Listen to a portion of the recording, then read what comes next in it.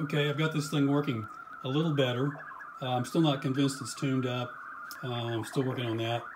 Uh, this is the output from the uh, uh, photo detector. Um, still have the uh, probe open here. Um, you can see that when I put my finger in the beam, the signal level drops a lot. So I'm going to take my finger off the laser and you can see it comes up.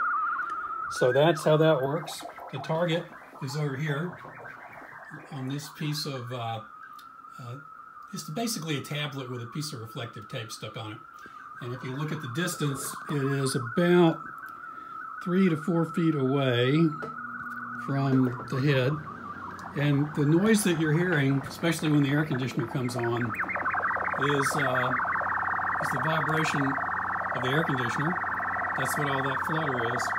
And as soon as the air conditioner goes off, you'll see that uh, the vibration that it's coupling through the frame of the house will actually stop. But right now, it's shaking this whole assembly substantially. This again being the laser head. Here's the Bragg cell in here. Uh, this is a 35 megahertz modulator.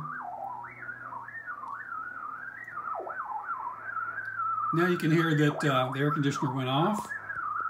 And so the beam's over there. And now I'm going to just move my feet around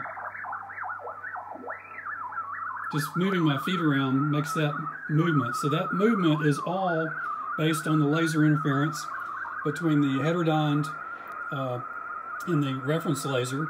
And that's what it all sounds like when you're listening to the 35 megahertz output um, on um, radio here. It's still a relatively weak signal, however.